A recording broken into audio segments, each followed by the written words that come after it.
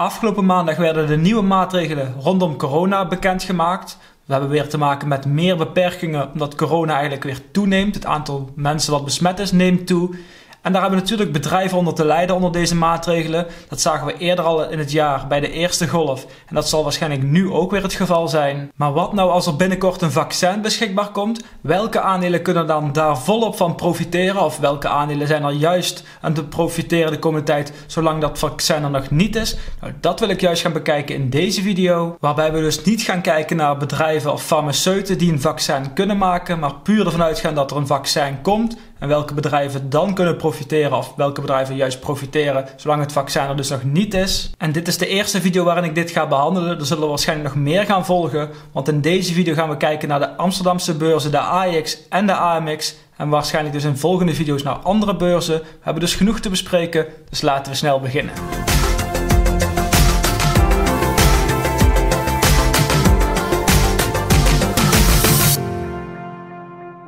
Leuk dat je kijkt naar een nieuwe video van een passiefinkomen.nl. We gaan dus kijken naar aandelen die kunnen reageren op het vaccin of zolang het vaccin nog niet is. Maar we hebben het dus gehad over die aankondigingen die afgelopen maandag zijn gedaan, die bekendmakingen, nieuwe maatregelen rondom corona. laten we nog even gaan kijken naar de beurs van gisteren. Dat was de dag dus nadat het bekend werd om te gaan kijken van welke aandelen hebben daar een beetje op gereageerd en waarom hebben aandelen daarop gereageerd. Laten we beginnen met de AEX. En dan kijken we hier naar een overzicht van IEX.nl en daar zien we eigenlijk de, de plussen, de minnen, maar ook het volume van dit soort aandelen altijd heel erg interessant. En een link daarvan vind je trouwens onder deze video terug.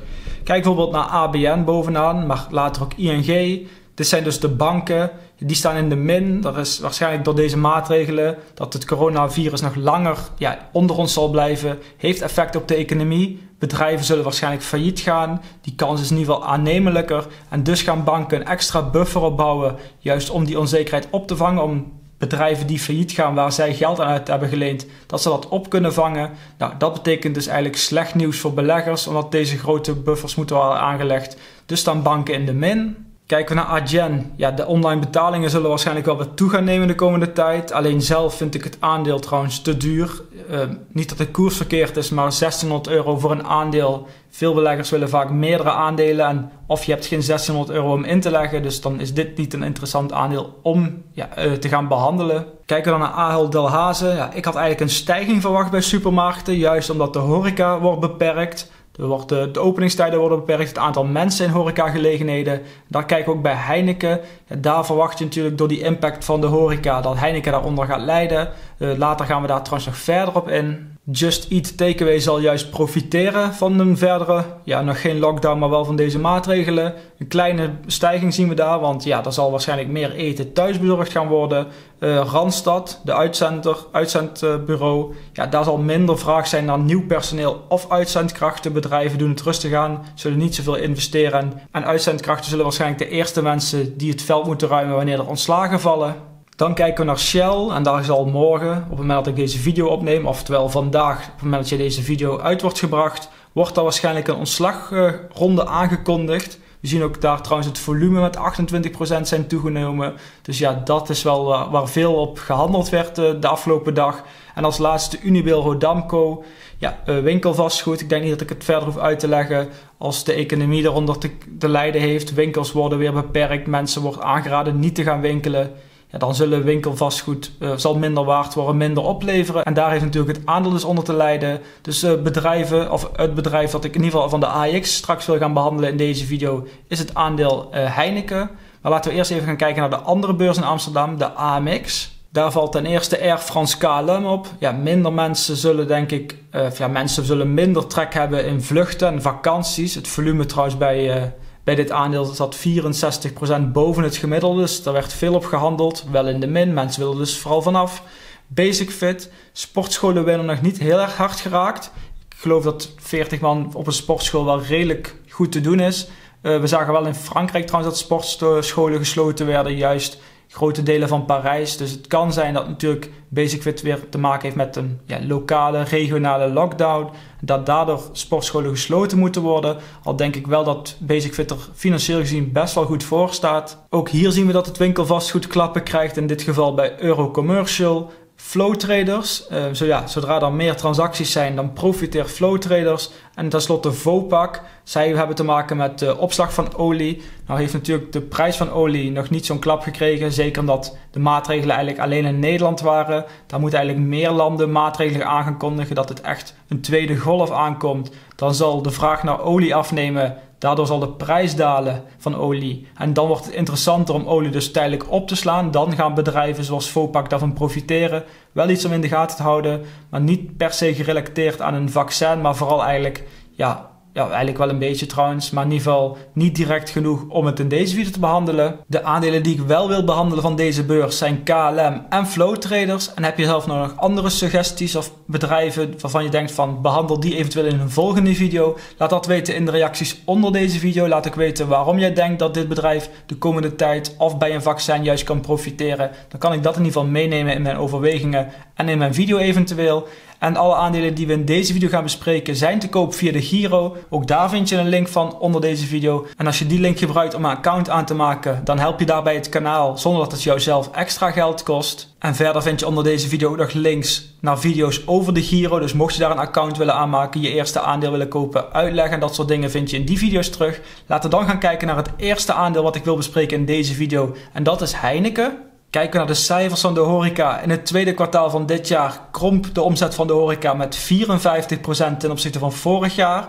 Het derde kwartaal zal iets beter zijn geweest. Dat kwartaal is dan weer net afgelopen op dit moment. De zomer was eigenlijk bezig, dus mensen wilden op een terrasje zitten. Werd ook best wel veel toegelaten. Dus daar zal de omzet nog niet terug zijn op het oude niveau, maar in ieder geval beter zijn dan de daling van het tweede kwartaal. Maar deze nieuwe maatregelen, dat de, de horeca eigenlijk opnieuw getroffen wordt met sluitingstijden om 10, 10 uur s avonds, minder mensen buiten, minder mensen binnen. Dat zal natuurlijk weer effect hebben op de, op de omzet van de horeca. En dat zullen we ook terug gaan zien in de cijfers van het vierde kwartaal. Natuurlijk hebben we ook nog te maken dat het festivalseizoen er eigenlijk niet is geweest. Maar zeker bij deze temperaturen is er geen festivalseizoen. Minder mensen zullen dus naar cafés of restaurants gaan. En ook bij sportwedstrijden wordt de komende tijd geen toeschouwers toegelaten. Ja, dat heeft allemaal impact op het verbruik van bier bijvoorbeeld. Op de omzet van de horeca. En dat gaat de de consumptie thuis in ieder geval niet compenseren. Kijken we naar het aandeel Heineken, dan zat dat een jaar geleden zo op de 95 euro per aandeel. Begin dit jaar piekte het op de 105 euro en op dit moment ligt het zo rond de 75 euro per aandeel. En ik denk dan ook wel dat het aandeel een redelijk herstel kan laten zien wanneer er een vaccin beschikbaar is. Mensen willen dan juist weer erop uitgaan, of een feestje inhalen, of juist nog een keer uit eten gaan, of weer naar een voetbalwedstrijd gaan bijvoorbeeld, of in ieder geval je vakantiegeld dat je over hebt gehouden op een of andere manier toch uitgeven en misschien wel door gezelligheid met vrienden. Dus ik denk zeker dat de omzet dan toe gaat nemen. Ik denk alleen niet dat de koers ook helemaal terugkomt naar het oude niveau, want we moeten er ook rekening mee houden dat Heineken de afgelopen tijd wat meer schulden is aangegaan, wat meer geld ja, naar zich toe heeft getrokken juist om deze coronacrisis te overleven. Nou, als we meer schuld hebben, weegt dat eigenlijk ten eerste de, de rentelasten druk op de winst. Dus daardoor wordt het aandeel uiteindelijk op de lange termijn iets minder interessant. Maar ik denk wel dat het zeker kan profiteren van een vaccin. Dit is zeker ook een aandeel wat ik in de gaten ga houden de komende tijd. Het tweede aandeel wat ik wil gaan bekijken is Air France KLM. Begin dit jaar stond het aandeel nog zo op de 10 euro ongeveer. En nu is dat net onder de 3 euro. Je zou dus denken dat er flink herstel mogelijk is. Maar we moeten wel rekening houden dat we als we uitzoomen zien dat het aandeel eigenlijk al langer daalt. En dat het eigenlijk het hoogtepunt in ieder geval eind 2017 lag op ongeveer 14 euro. Ik denk wel zeker dat vliegtuigmaatschappijen en dus ook Air France KLM gaan profiteren wanneer er een vaccin is. Want mensen zullen namelijk eerder weer het vliegtuig pakken. Misschien juist om een weer ja, lange tijd geen vakantie gehad, toch juist weer een vakantie te pakken. Dan ga je waarschijnlijk wanneer een vaccin rond de wintertijd uitkomt naar de wat warmere landen. Nou, die liggen een stuk verder weg. En ben je dus eigenlijk wel verplicht om een vliegtuig te nemen. Nu doe je dat niet. Ten eerste omdat het wordt afgeraden door de overheid. Ten tweede wil je waarschijnlijk als je op vakantie gaat de mogelijkheid hebben om makkelijk op eigen initiatief natuurlijk terug te gaan. En niet in een heel ver weg land te zitten. En dan is het moeilijk om thuis te komen. En we zien natuurlijk dat je te maken hebt met quarantaineregels. Dat je daar misschien wel 10 dagen in quarantaine moet wanneer je een land binnen gaat.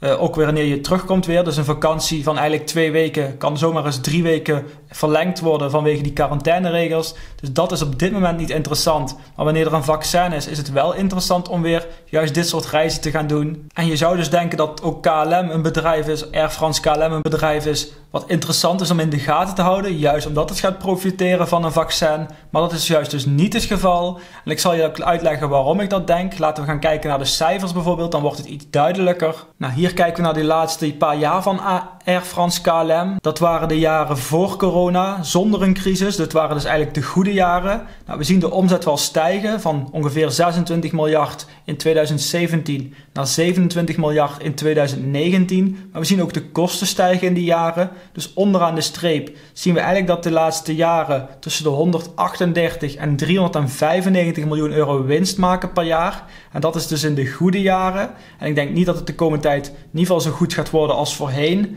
Mensen willen waarschijnlijk dus wel op vakantie. Maar we zullen bijvoorbeeld ook zien dat zakelijke reizen iets minder worden. Dat wordt nog steeds ja, een beetje tegengehouden. Uh, het hoeft ook niet meer. Heel veel kan voortaan digitaal. Ook daar zijn bedrijven en mensen inmiddels gewend aan geraakt. En ook Air France KLM heeft te maken met extra schulden die ze zijn aangegaan. Ze hebben natuurlijk staatssteun gehad. Of in ieder geval een overheid die garant staat. Maar ook zelf weer geld opgehaald. Daar moet natuurlijk rente over betaald worden, over die lening. En als we zien dat de laatste jaren tussen de 100, zeg maar 138 en 400 miljoen euro winst is gemaakt, dan gaat in ieder geval die rentelasten de komende jaren op dat resultaat drukken. Dat wordt dus minder, minder winst gemaakt. En zoals gezegd, dat waren de goede jaren. Ik ga er niet vanuit dat we dit jaar of volgend jaar in ieder geval meteen weer teruggaan naar de oude situatie. Dus de winst zal al minder zijn. Maar juist doordat ze leningen zijn aangegaan, wordt de winst nog lager.